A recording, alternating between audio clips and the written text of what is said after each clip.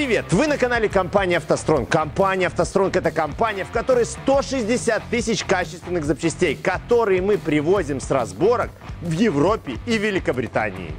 Также не забываем, что у нас горы навесного оборудования, отличный сервис и быстрая доставка. А сегодня мы разберем японский агрегат от Nissan QR20DE. Двигатель QR20DE пришел на смену старому доброму SR20DE в 2000 году и выпускался аж до 2013 года. В двигателе QR20DE алюминиевый блок с открытой рубашкой охлаждения, цепной привод ГРМ, фазовращатель на впускном распредвале, в приводе клапанов гидрокомпенсаторы отсутствует, а в картере находится модуль балансирных валов. Этот двигатель весьма заурядный и не блещет надежностью. Его устанавливали на большое количество автомобилей Nissan с 2000 по 2013 год. Для европейского рынка это Nissan Primera P12 и X-Trail T30, а модели для дальневосточного рынка это Tiana, Sirena, Liberty и другие. Мы будем разбирать двигатель QR20DE с Nissan Primera 2002 года с пробегом 220 тысяч километров. Двигатели, выпущенные до 2004 года, стали участниками отзывной кампании. Дело в том, что из-за некорректной прошивки двигатель на холодную заливал свечи. Лишнее топливо попадало в катализатор и разрушало керамические соты. Керамическая пыль попадала в цилиндры, что, естественно, приводило к задирам. Следом шел масложор и падала компрессия. В некоторых случаях эта керамическая пыль буквально забивала цилиндры. Отдельная тема – это запуск этого двигателя по утрам. Даже после перепрошивки этот двигатель плохо заводился на холодную. То есть он может, так сказать, схватить, поработать пару секунд, а потом заглохнуть. То есть захлебнется излишне впрыснутым топливом. Замечено, что таких проблем нет на моторах с отмытыми перед холодным сезоном дроссельными заслонками и исправными датчиками массового расхода воздуха.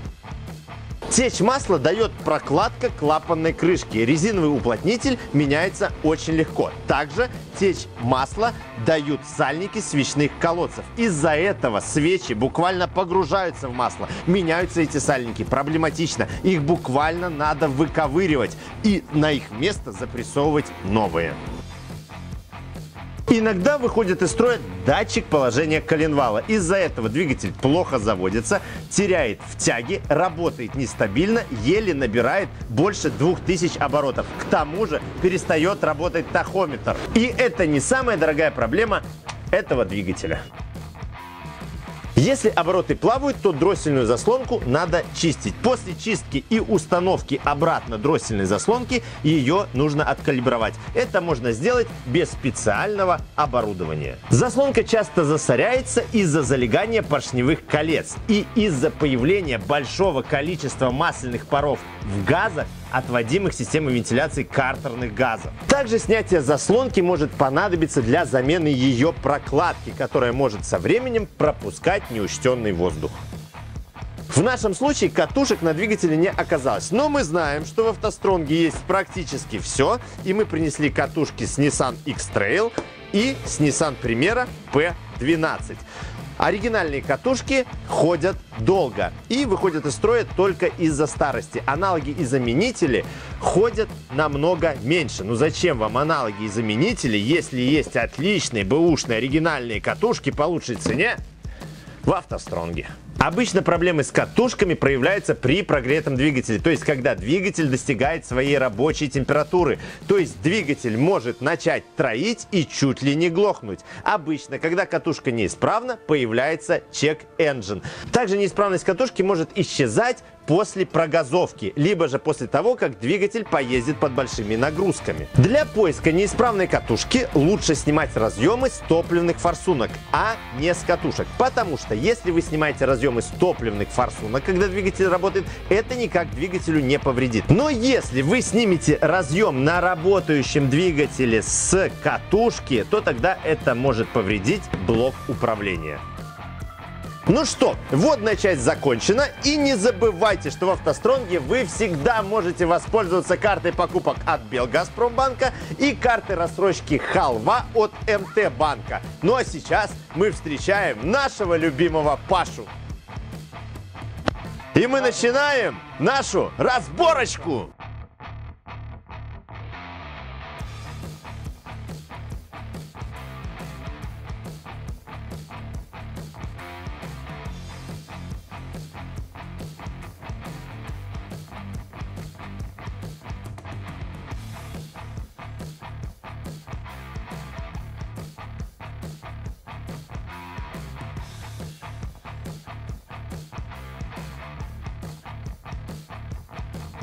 В двигателе QR20DE два термостата, вернее один термостат и один распределительный клапан, расположенный на ГБЦ. Распределительный клапан отвечает за циркуляцию охлаждающей жидкости между ГБЦ и отопителем салоном, то есть печкой, и соблюдает баланс температур ГБЦ и блока. В системе охлаждения двигателя никаких проблем нет, но сами термостаты недолговечны, выходят из строя и тогда двигатель перегревается. Странная настройка блока управления двигателя не отражает повышение температуры двигателя, пока охлаждающая жидкость не нагреется до 108 градусов. Хотя считать и следить за температурой этого двигателя можно при помощи недорогого китайского сканера. Так, в принципе, и поступают некоторые владельцы автомобилей автомобилей Nissan. В любом случае двигатель по-любому перегревается, возникает неравномерное расширение и это приводит к пробою прокладки ГБЦ. В самых показательных случаях блок буквально поднимает ГБЦ или она деформируется.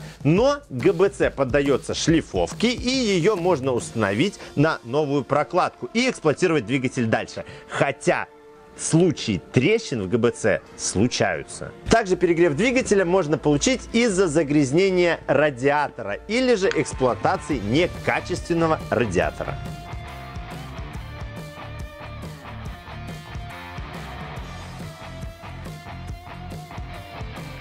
Сняли клапанную крышку. Вот это резиновая прокладка, которая легко меняется. А вот это сальники свечных колодцев, которые меняются с трудом. По состоянию кулачков распредвалов у нас никаких вопросов нет, но очень интересно, что лаковый налет распределен неравномерно. То есть ГБЦ у нас относительно чистая, а вот на распредвалах обильный налет. Регулировать клапана на данном двигателе надо каждые 90 тысяч километров. Обычно в регулировке нуждаются выпускные клапана, потому что они поджимаются, из-за этого двигатель начинает терять в мощности, есть больше топлива и иногда даже происходят пропуски зажигания. Двигатель может начать троить из-за скапливания нагара на тех же выпускных клапанах. Это обычно происходит при очень бережной эксплуатации, обычно на двигателях с автоматом. Из-за нагара клапана плохо закрываются и это приводит к пропускам зажигания. Вылечить такую проблему можно более резвой и агрессивной ездой.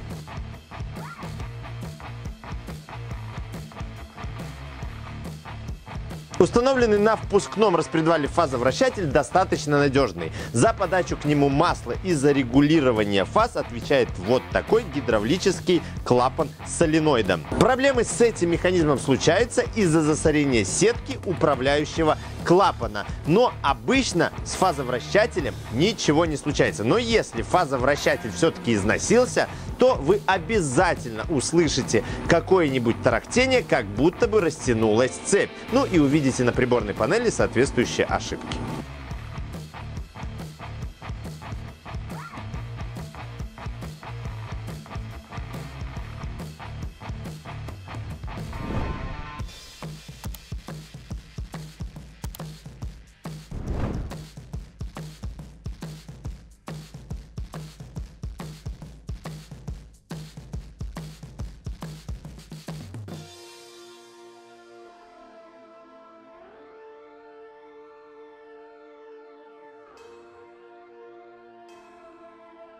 Сняли крышку газораспределительного механизма и заметим, что в ней находится маслонасос.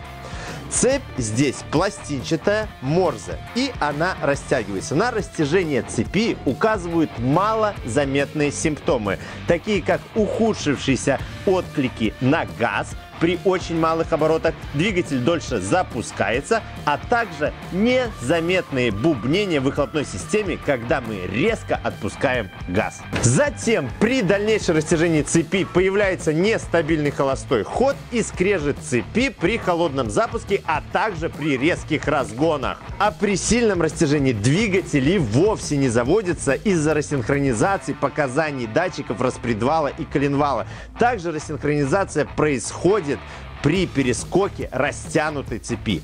При перескоке цепи на 1-2 зуба поршни клапана в этом двигателе не сталкиваются. Также были случаи, когда цепь изнашивала свои шестерни, то есть на шестернях была выработка, и тогда цепь надо менять вместе с шестернями. Данная цепь ходит по 200 тысяч километров. Уделять ей внимание надо при ошибках по датчикам распредвала и коленвала. А самый верный способ определить ее растяжение – это сравнить осциллограммы датчиков распредвала и коленвала. В нашем случае цепь здесь растянута, потому что шток выдвинут на значительное расстояние, и по состоянию шестерен видна выработка.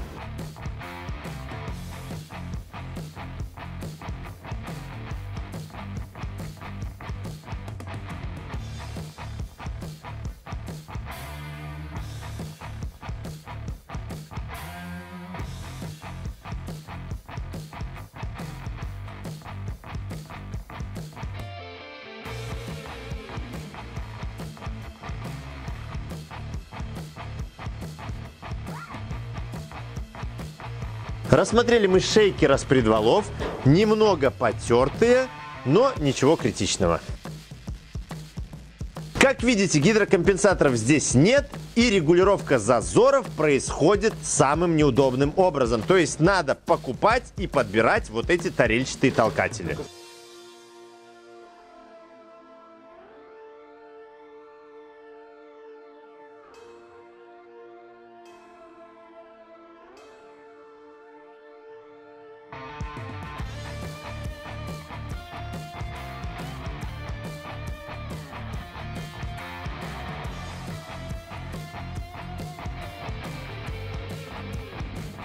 Продолжая разговор о частых пробоях прокладки ГБЦ, скажем, что при пробое прокладки ГБЦ антифриз начинает поступать в цилиндры.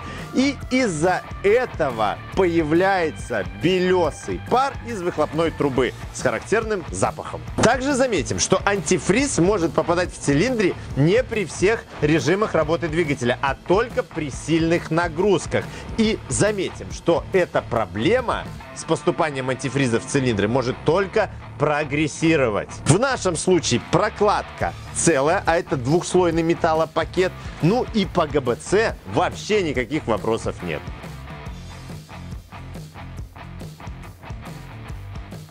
Блок здесь алюминиевый с открытой рубашкой охлаждения. И многих волнует вопрос, гильзован ли он? Отвечаем, гильзован. И никакого алюсила или никосила здесь нет. Кроме того, производитель предусмотрел один ремонтный размер поршней и поршневых колец, поэтому один раз этот блок можно проточить. По состоянию хон здесь практически отсутствует и видны потертости на стенках цилиндров. Это не задиры, но износ есть. И количество нагара на донышках поршней все-таки многовато.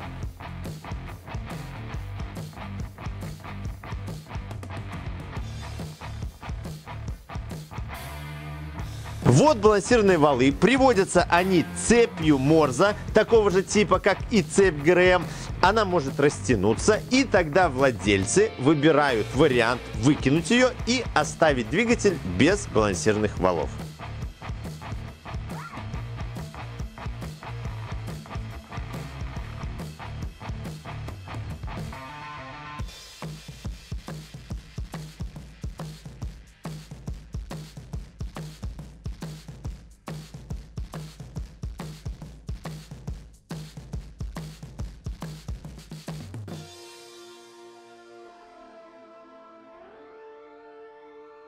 Вы, наверное, обратили внимание на многослойность конструкции двигателя QR20DE. Там есть маленький поддон, поддон побольше и вот такая вот постель коленвала. Она алюминиевая. Вкладыши у нас потерты такими полосками, которые ощущаются на ощупь. Это, естественно, из-за мусора в масле.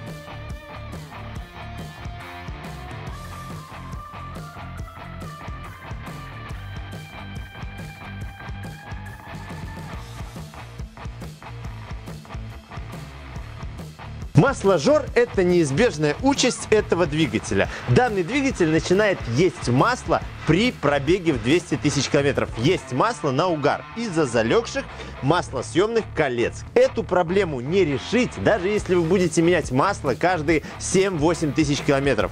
Масложор, проблема с масложором решается только заменой маслосъемных колец.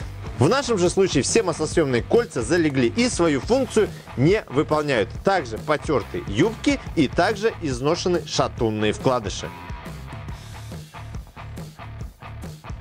Такой характер износа, а именно полоски, мы видим и на шейках коленвала. Это не из-за нагрузок на двигатель, а из-за мусора в масле. Также обратим внимание, что двигатель QR20DE обходится без маслофорсунок. Разборка закончена и вот такой интересный двигатель мы сегодня разобрали. Его надо оберегать от перегрева, то есть следить за термостатами, а также готовиться лечить масложор путем замены поршневых колец. В лучшем случае. Если вы хотите знать о моторах, коробках и БУ запчастях все, обязательно подпишитесь на наш канал, оставьте комментарий, поставьте обязательно лайк. Также заходите на наши соцсети, заходите на наш сайт, покупайте у нас отличные запчасти и помните, что с вами всегда была есть и будет компания «АвтоСтронг».